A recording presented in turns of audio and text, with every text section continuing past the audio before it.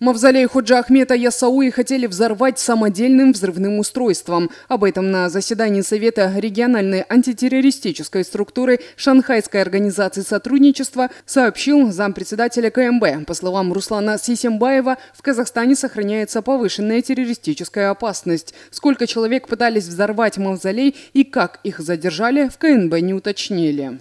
Ежегодно предотвращается не менее двух терактов.